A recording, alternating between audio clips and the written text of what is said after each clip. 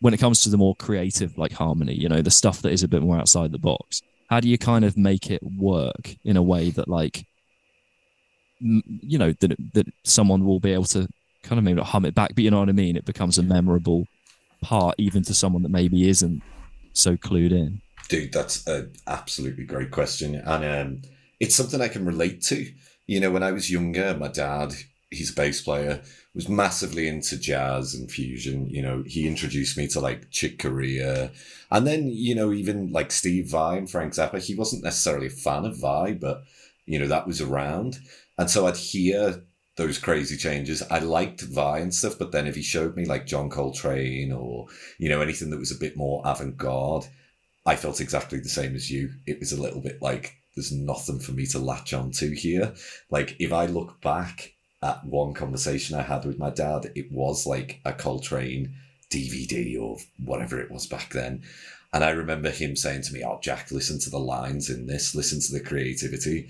And I, at the time, you know, I was well into, I don't know, like the 80s metal, you know, like Motley Crue and, you know, Racer X, stuff like that. And I was saying to him, "Oh, Dad, it's just a load of randomness. Like, it's just not, it's not that cool. Like, where's the melody? Where's this? Where's that?" I would cringe looking back at that now because that is one of my favorite styles of music. But yeah, I think that's the hard thing when you're writing like fusion and inverted commas. There's a whole argument that what me and Owain are doing is not necessarily fusion either. You've got to have still some kind of melody and when it comes to writing more complex harmony around things, very often what we'll do is start with really simple harmony on the demo.